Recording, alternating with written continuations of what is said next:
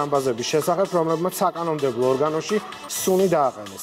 ექსპერიმენტი ჩაატარეს ადამიანებზე მათი ნების და თანხმობის გარეშე და პირდაპირ ეთერში ვიხილეთ უმძიმეს მდგომარეობაში მყოფი ადამიანები, რომლებსაც სასწრაფო სამედიცინო დახმარება დასჭირდათ.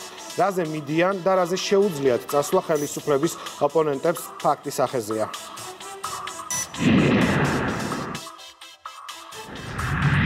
უკვე მეორე დღეა რაც პარლამენტში გაურკვეველი ნივთიერება გაასხეს, თუმცა ეგ შემოსვლის თანავე იგრძნობა ძალიან უსიამოვნო სუნი და ამის გამო დეპუტატები ისე ვერ ახერხებენ მუშაობას. ეს სუნი უფრო მეტად მძაფრდება მას შემდეგ რაც უახლოვდებით უშუალოდ იმ ადგილს, სადაც მოხდა ნივთიერების გასხმა. მე ვფიქრობ, რომ შეიძლება კამერისთვის ეს აღქმადი არ იყოს, თუმცა მე თვალით ვხედავ აქ ყვითელ ლაქას, სადაც არის დასხმული გაურკვეველი ნივთიერება. გაურკვევლს იმიტომ ამბობ, რომ ექსპერტიზის პასუხები ჯერჯერობით რა ნივთიერება იყო, ეს ცნობილი არ არის, თუმცა ფაქტია, რომ ამან ძალიან ცუდად იმოქმედა რამდენიმე ადამიანზე.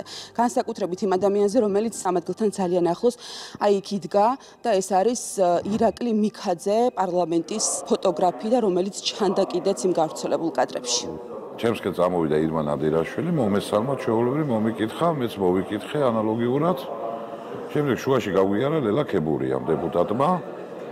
და შემდეგ ირმაც გაყვა, ერთად გავიდნენ, რა დროსაც სუნი ვიგზენი ძალიან მძაფრი. არ ვიცოდი ეს სუნი საიდან მოდიოდა რეალურად, მაგრამ მალევე დავინახე, რომ იყო დაქცეული დაბლა.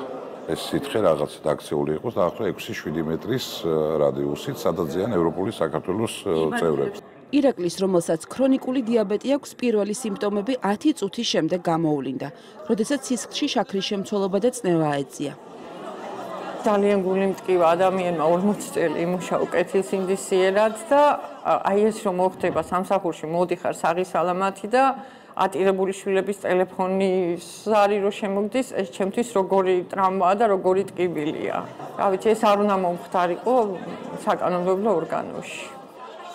ციური როსტიაშვილი 40 წელია პარლამენტში მუშაობს, თუმცა აქამდე ასეთი არც უნახავს და არც გაუგონია. თავად ონკოლოგიური პაციენტია და გაურკვეველმა ნივთიერებამ მის ჯანმრთელობაზე განსაკუთრებით ცუდად იმოქმედა. ვიგრძენი რაღაცა, აი მაპატიეთ რა, დამპალი რაღაცის სუნი. გამოვედი დარბაზიდან და დარბაზის გამოსვლიდან დამეწყო ხელების დაბუჟება, ტუჩების დაბუჟება, როგორ შემოვედი აქეთ არ მახსოვს. მე არაფერი არ მახსოვს, უკვე ვიყავი სასწრაფო დახმარების მანქანაში, რომ მე უკვე კლაპის პრობლემა მქონდა, ვიგუდებოდი. უცებ გავხდი ცუდა და გავარდი დარბაზიდან. რა გითხეს ექიმებმა რასი? ტოკი ის ტოქსიკური მოწამლა.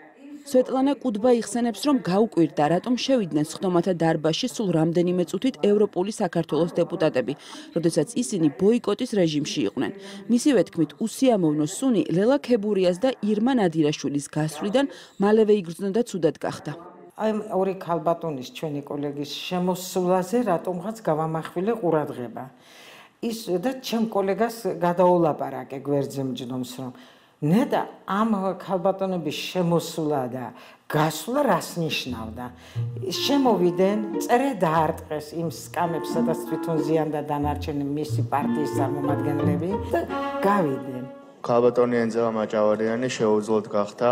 ეს ნივთიერების დასხმიდან მეორე დღეს ხდება გაუსაძლისი სამუშაო გარემოს გამო. სხდომა შეწყდა და რამდენიმე დეპუტატი ისევ შეუძლოდ გახდა. როდესაც პარლამენტში ენზელა მაჭავარიანთან შესახვედრად მივედით, ის ისევ ექიმთან იყო. ამიტომ მოგვიანებით სამუშაო კაბინეტში მივაკითხეთ. საერთოდ მაქვს სუნებზე აი ენდოტრაქეალური ალერგია მაქვს. მე ვიფიქრე რომ რადგან უცბად მივიღე სუნი და გარეთ გამოვედი, არაფერი არ მომივიდა, იმიტომ რომ თავიდან თავს ცუდად არ გრძნობდი და იქ ჟურნალისტები რომ მეკითხებოდნენ, ხუმრობდი კიდევაც რომ ადრე თქო წინა საუკუნეში ფუტურისტები მეთქი ჟურნალი დაარსეს აშორიესოთხი და მაგის პრეზენტაციას რო აწყობდნენ გოგირდმჟავად დაუსხეს რომ არ ჩაეტარებიათ ეს პრეზენტაცია და რამე ასეთი ხო არ ხდება აქაც მეთქი ის რაც ამ საუკუნეში ყოველასთვის დაუჯერებელი იყო სიმართლე აღმოჩნდა. ამის გამართლება როგორ შეიძლება? როგორ შეიძლება ადამიანმა ეს გააკეთოს რა?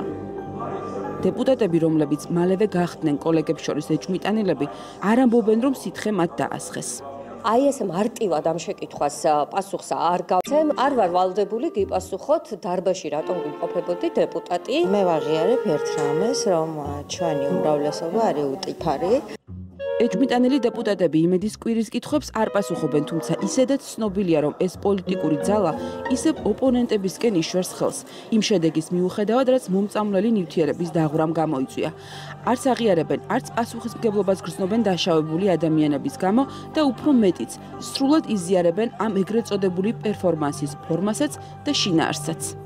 მომწავლელი ხალხი, რომელიც ცდილობენ რომ მოვიდნენ ხელისუფლებაში და წარმოიდგინეთ მასში რაც იზამენ. აი ამ სუნიანმა აქციამ გადაფარა რეალურად ერთ-ერთი ყველაზე მთავარი თემა, რაც იყო მოსამართლეების არჩევანი. ყველა იმ დეპუტატისთვის, ვინც იმ დღეს ხდომათა დარბაზში იყო, ოპოზიციის მიზანი ნათელია, ჩაეშალათ მოსამართლეთა არჩევის პროცესი, რომელიც პარლამენტში თვეების მანძილზე მიმდინარეობდა. ახლა მათთვის მთავარი კითხვა ისაა, გათვლილი ჰქონდა თუ არა ევროპულ საქართველოს ამ სახიფათო თამაშის რისკები.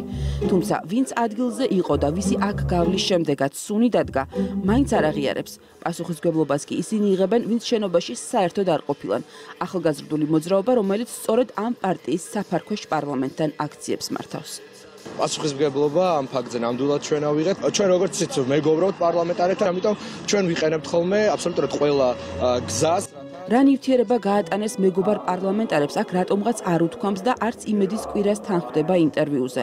თუმცა ფაქტიდან მალევე Facebook-ზე დადეს იმ ხსნარის ფოტო, რომლითაც მათი თქმით საპარლამენტო პროცესის ჩაშლა უნდათ და იმის მიუხედავად რომ ადამიანები დაზარალდნენ, მაინც ირწმუნებიან რომ უსაფრთხოა.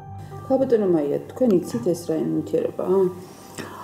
აა საცნობარო ლიტერატურა, ხელმისაწვდომი ლიტერატურიდან გამომდინარე, დოროგოვი იყო ასეთი მეცნიერი, რომელმაც 40-იან წლებში დინარის ბაყაყებისგან მიიღო ეს ნივთიერება, გამოიყო რამდენიმე ფრაქცია და ეს არის ზეთოვანი ფრაქცია, რომელსაც გამოიყენებენ ვეტერინარიაში. ექსპერტი მაია ნიკოლეიშვილი გვიყვება იმ ნივთიერებაზე, რომელიც დახურულ სივრცეში პარლამენტის ხდომათა დარბაზში დაასხეს. მისი თქმით, ამ ნივთიერების ადამიანზე ზემოქმედების მიმართულებით კვლევები არ ჩატარებულა.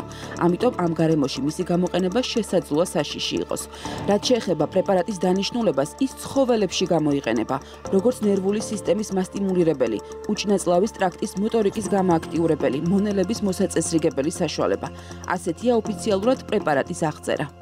40-იანი წლების შემდეგ პრეპარატის კლინიკური კვლევა არ ჩატარებულა და აკროლად მდგომარეობაში, ეს აკროლადი მდგომარეობა იყო. მისი მოქმედების შედეგი ჩვენ გუშინ ნახეთ საქართველოს პარლამენტში. ეცით რა არის? მედიკოსი ვარ, ჩემ სპეციალობაში 30 წლის სტაჟი მაქვს, მე მსგავსი რამ, ჩემთვის წარმოუდგენელია, რომ პარლამენტში ჩატარდეს ექსპერიმენტი ადამიანებზე, მაშინ როცა ეს ადამიანები თანახმანი არ არიან კი არა, წარმოუდგენა არ აქვთ ამის შესახებ და ჩვენ ფაქტიურად მივიღეთ, აი ბუნებრივად უკვე მივიღეთ ექსპერიმენტი თავის შედეგებით. ექსპერიმენტი ადამიანებზე საკანონმდებლო ორგანოში, როდესაც საცდელი ობიექტები საქმის ყურშიც არ არიან. ეს სპეციალისტის შეფასებაა. შინაგან საქმეთა სამინისტრომ კი ამ შემთხვევას ჯანმრთელობის განზრახ მძიმე დაზიანების კვალიფიკაცია მიანიჭა და გამოძიება დაიწყო. იმ ფონზე, როდესაც დაზარალებულები ისევ ექიმის დახმარებას საჭიროებენ და საკანონმდებლო ორგანოში სხდომები იშლება, პოლიტიკური ძალა, რომელიც ამ ფაქტს მინიმუმ ხარს უჭერდა, პასუხისმგებლობას არ გზნობს და ისევ დაჟინებით იმეორებს, რომ გამოხატვის ამ ფორმას ეთანხმება.